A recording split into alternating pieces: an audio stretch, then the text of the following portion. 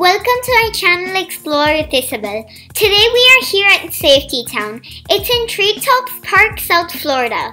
And if and I have a request for you.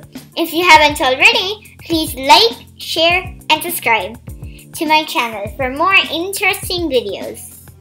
Safety Town is a child-sized town that was made to help parents and kids learn safety rules. So let's go and start learning the rules for Safety Town. So, come on, let's go. Here we're in front of a sign that says Welcome to Safety Town. So are you guys ready to learn? So, join with me. This was made by the Joey DiMaggio Children's Hospital. It's free of charge and basically a real world in miniature. They made houses, fire hydrants, and even a mailbox. It's important to learn the road rules. As always, safety first. Or an accident may happen. Oh, look at that, it's the blue house. Sadly, the doorknobs are just drawn on. You can't enter inside. There's also a yellow house and a green house.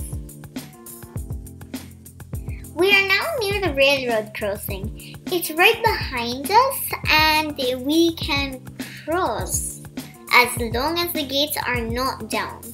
This here is the sign for railroad crossing. Don't play in the middle of a railroad crossing.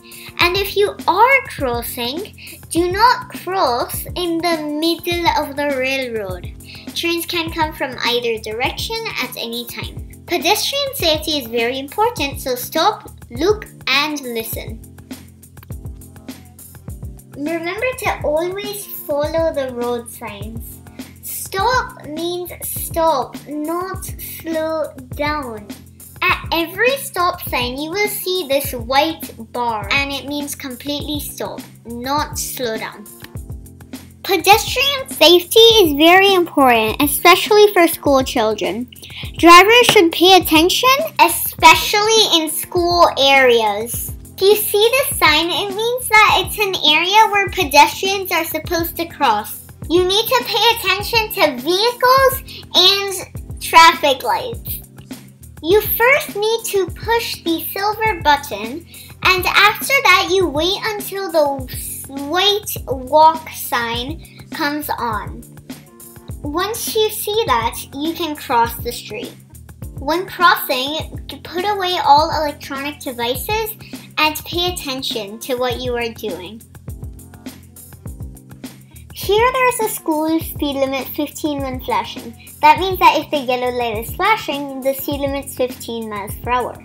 The sign that's yellow with two people crossing means that there is a place to cross.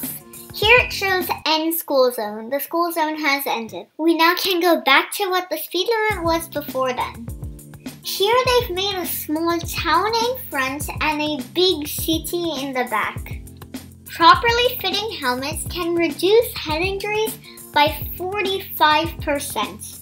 Until the parents are comfortable, always use a car seat or a booster seat, and no matter what, always use a seatbelt. According to your child's age and weight, always use the car seat or booster seat that's appropriate for them. If you want any further information or have any questions, remember that you can always ask the experts.